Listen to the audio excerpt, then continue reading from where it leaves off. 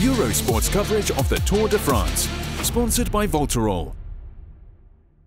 Eurosport's coverage of the Giro d'Italia, sponsored by Voltarol. Eurosport's coverage of the La Vuelta, sponsored by Voltarol. This program is sponsored by Voltarol.